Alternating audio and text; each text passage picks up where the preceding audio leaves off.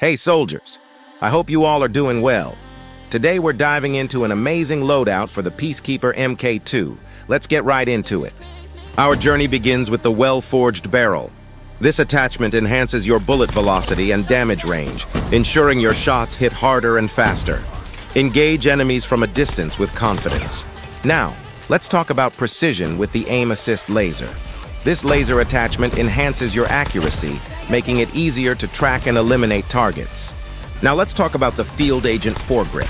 This attachment enhances your recoil control, ensuring your shots stay on target. For sustained firepower, we've got the double stack mag ammunition. This magazine ensures you have the firepower to handle multiple opponents without frequent reloads. Lastly, the sturdy grip tape Rare Grip.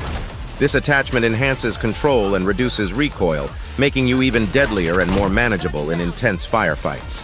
Put together, these attachments make your weapon faster, more accurate, and perfect for taking down multiple enemies.